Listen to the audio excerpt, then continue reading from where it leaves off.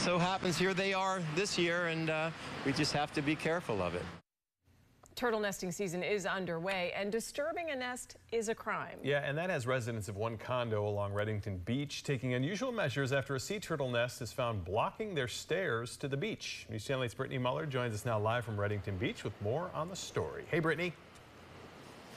Josh, Jen, good afternoon to you both. Turtle Patrol says it's discovered more than 50 nests so far this season here in Pinellas County, including this one outside this condo's beach access point. Now it's roped off and residents are using this sand pile instead of the stairs. It's all great part of nature and uh, we just have to work around it. Residents at this condo blocked from their beach gate because of this turtle nest. I love the sea life. And, uh, and I tease everybody, you know, they're like, well, yeah, but we, we can't use our steps. And I said, it's only for two months.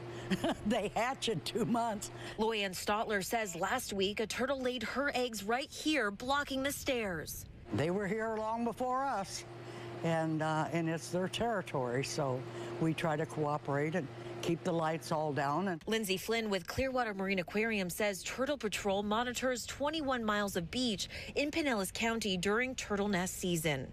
Our team monitors our nests each and every day uh, to make sure that they're still safe and protected. Uh, so we ask people to give them space. Flynn says she primarily sees the loggerhead sea turtle, which are protected under state and federal law.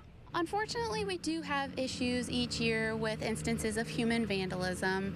Um, so we always encourage our visitors, our residents to call. Records show a man was arrested and charged with a felony earlier this week on Indian Rocks Beach when he crawled underneath the enclosure of a nest. when there's that rope around there, that pink rib, you just you stay out. That's their home.